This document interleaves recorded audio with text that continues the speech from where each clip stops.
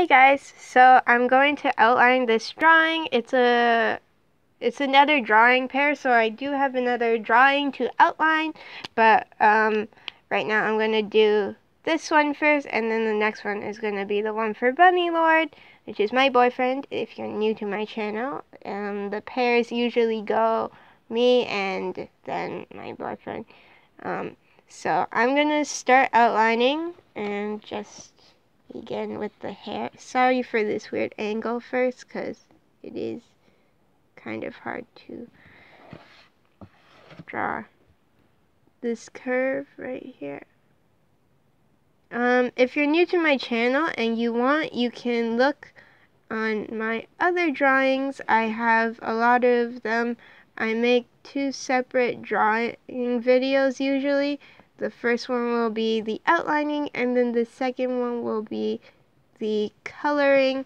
So if you're interested in looking at those, you can go see them. Or I also have different videos like hauls that I got of plushies and stuff. So if you're new, please go check those out. So right now I'm just outlining the hair.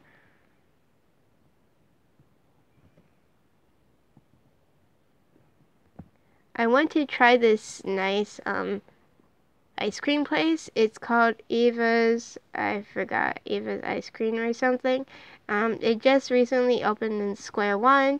They have, um, they have, so it's a mixture of three companies, I believe, because they it's basically a candy store, which I think is owned by one company, and then they also have a um, a Japanese cheese tart cheesecake company, which is also a different company. I tried it before, so but I got it from a different mall that's kind of far from our house. So um, there's that one, and then it's also mixed with Eva's ice cream, um, which is basically a really gourmet ice cream. Um, it's pretty expensive, so I do, but I do recommend like if you want, you should try it at least once. Like it may be a one-time deal thing, um, but it is pretty expensive. The ice cream costs around six, seven to eight dollars, and then with tax, I would round it to around maybe nine, ten-ish dollars. So it's around the ten dollar range, which is really expensive for an ice cream. But I will say, you if you guys are into like nice gourmet cones, then go check it out. Um, they actually, so their cones are the fried. They're like fried donut cones, which are made of like actual dough and then they curl it up and you can see the process of them making it like how they cook it and they put this they put it on this rolling thing that ro- that just keeps rolling it around so that way it gets um so that way it gets cooked evenly which is pretty neat to see and the cones taste really good um, but it is quite pricey for ice cream um, it's I guess I would because I had it with Bunny Lord, I would count it as date food, like a cute little date food that you could have.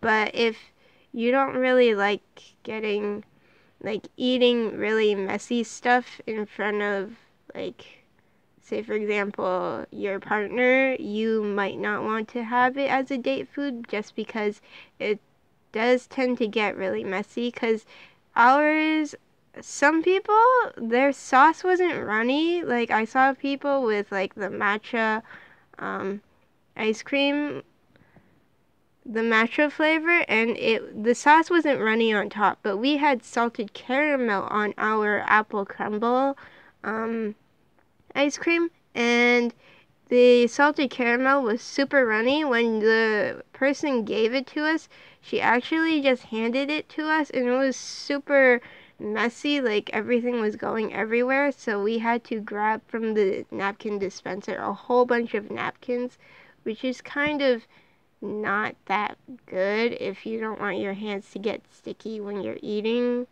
um, or walking around, you might not enjoy it that much, but it does taste really good. It's just really pricey and messy at times, so I guess it also depends on the flavor. Like we got the apple crumble one. I'm not sure because I saw like people ordered the matcha and the sauce wasn't runny on top. So I guess it depends on how they poured the sauce on. So just a little thing I kind of recommend you go like you guys to go at least try it once. It's called Eva's ice cream, I believe. So yeah. I believe it's called Eva's ice cream. Yeah. Um so now I'm just outlining the this sweater dress. This is an like I came up with this dress for this drawing. It's just an actual like sweater dress. So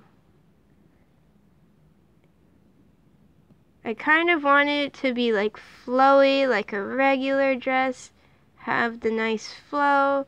Um, I wanted to it to be different from you know those regular sweater dresses that you see, like those winter ones. Um, I really want it to be like the regular hoodie style, so I tried my best to make it that way.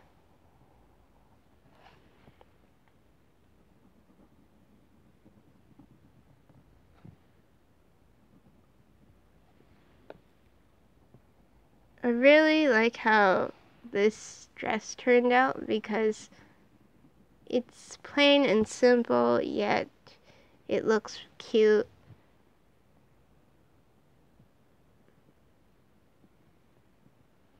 It was kind of hard to get the folds of like, because I wanted the legs to bend inside the dress, but it was kind of hard to get the folds proper.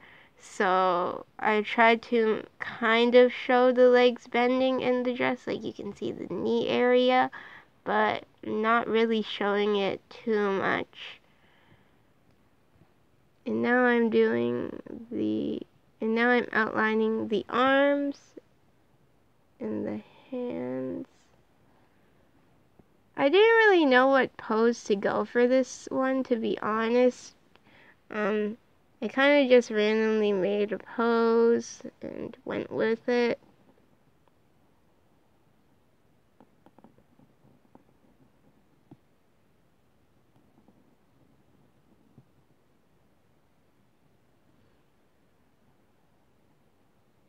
I think this pose is kind of like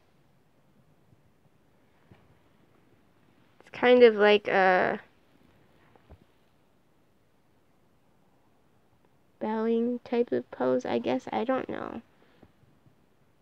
I usually don't like to put the hands on the stomach like that just because um, normally if I do that I would try to make it look like more of a bowing type of fancy pose I guess so um but I usually don't put hands on the stomach like that just because um, when I was trying to do that for some drawings in the past, I noticed it kind of looked like the person had an upset stomach.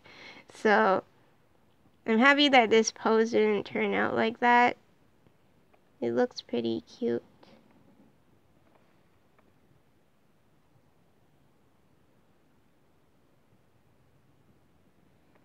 Just gonna go over this again.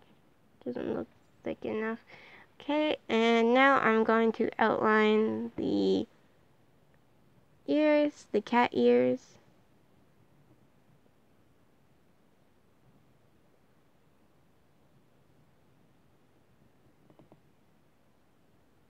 By the way, if you're new to my channel, I always put cat ears on myself, so yeah, that's on like every drawing of myself, so there they are.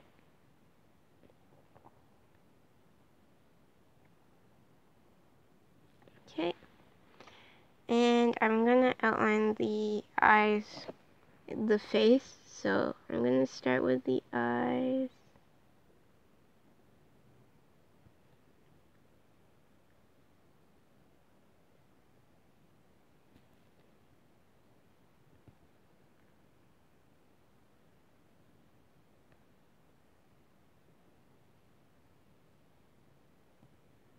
So that's one eye.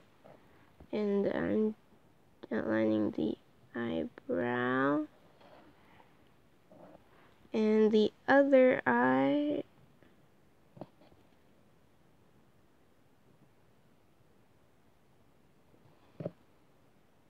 because the face is tilted sideways, I kind of tried to make the eye that I'm outlining right now, I tried to make it like smaller because it is more off to the side. It was kind of difficult to do that though, just because just because I felt like how do you make the eyes even when they're there? So I had to kind of look at that.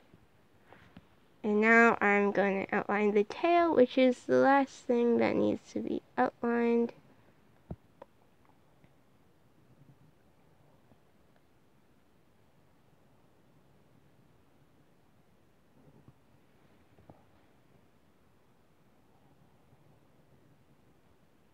For this drawing, I think I made the tail pretty long compared to the other drawings. I don't think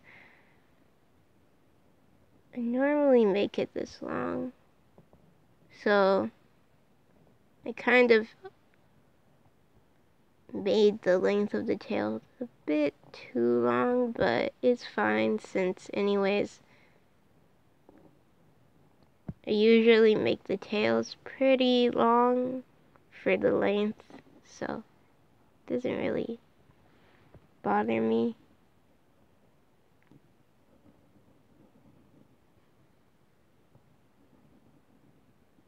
Okay, finished. Here is the overview of the drawing. It turned out pretty good. Um, hope you guys enjoyed this video, and my next video will be um, the one I made for Bunny Lord. So I made a pair for this drawing too, and I will be outlining that one next, and then I'll do coloring videos. So I hope you guys enjoyed this video. Um, if you like, please like, and if you want, you can subscribe. Bye.